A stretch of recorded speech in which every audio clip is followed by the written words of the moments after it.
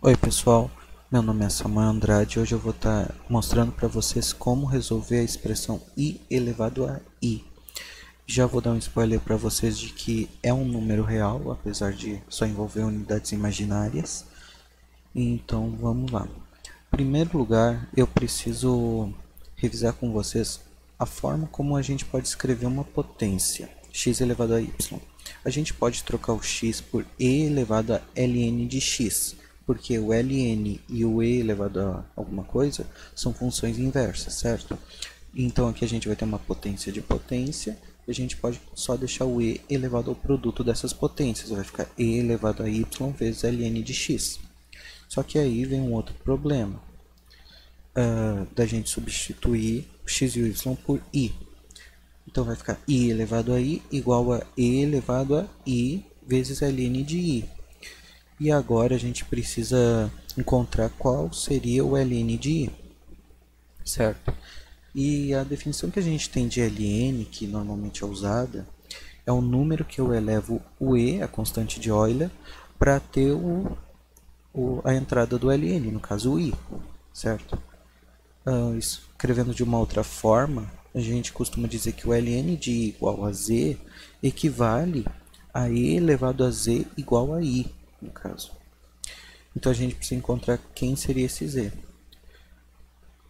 Então vamos primeiro separar aqui essa equação, essa expressão para o i elevado que a gente encontrou, e a gente vai trazer aqui um plano de Argand-Gauss para tentar resolver isso, usando a fórmula de Euler.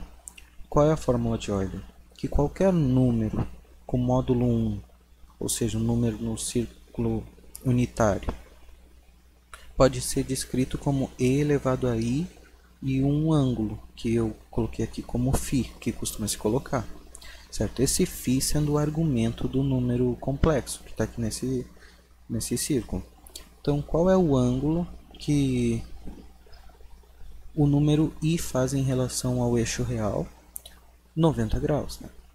porque ele é perpendicular é justamente a definição do uma das definições do número i.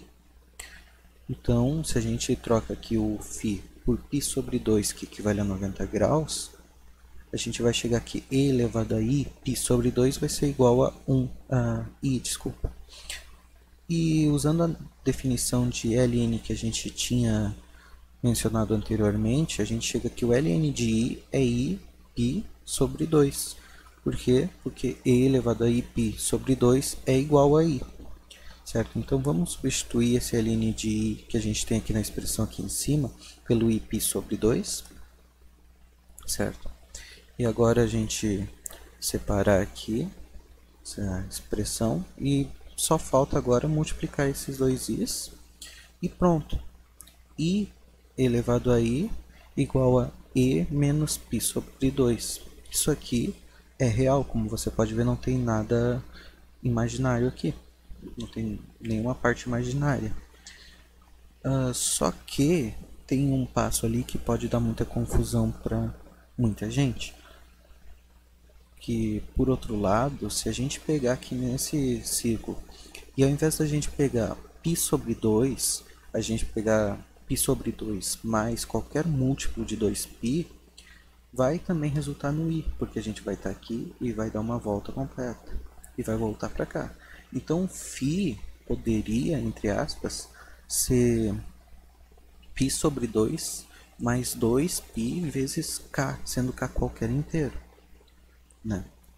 E dessa forma a gente teria que o ln de i seria essa expressão doida aqui, i vezes π sobre 2 mais 2πk, sendo k um inteiro certo?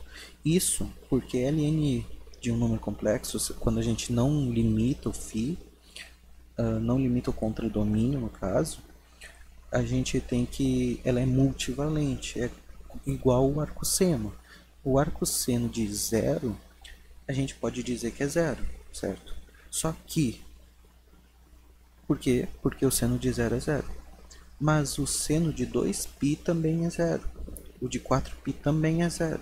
O de menos 2π também é zero. E na verdade o seno de π também é zero. Então o que, que acontece?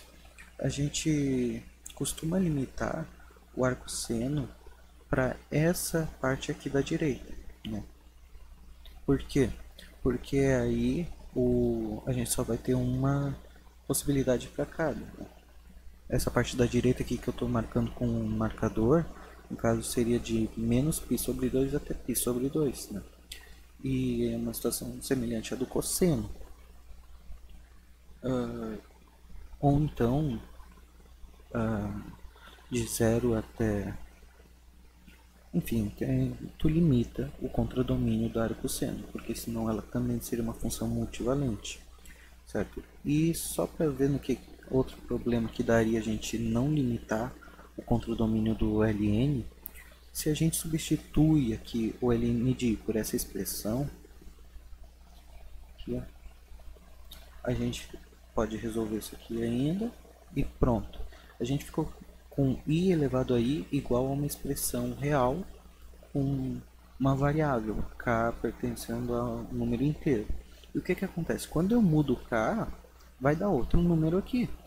E aí eu vou ter, por exemplo, que 0.2 é igual a 0.005, o que não é verdade. Então, ou eu vou quebrar, digamos assim, a transitividade da equação, ou então eu vou ter dois números reais que não são uh, iguais, mas sendo iguais. É uma contradição, né? E é um problema que tem em deixar o ln multivalente. Então a gente acaba limitando para que o k ali seja zero, né? Uh, e o contradomínio do ln seja limitado para esse que a gente chama de ramo principal. Uh, então esse aqui é o valor de fato de i elevado a i, que é o que a gente tinha encontrado anteriormente, que é e elevado a menos π sobre 2. E inclusive se tu coloca aí no Google uh, o i elevado a i, ele vai te retornar esse valor, que é o mesmo valor de e elevado a menos π sobre 2, certo? Então, peço que avalie o vídeo e se tiver algum pedido de vídeo pode fazer pelos comentários.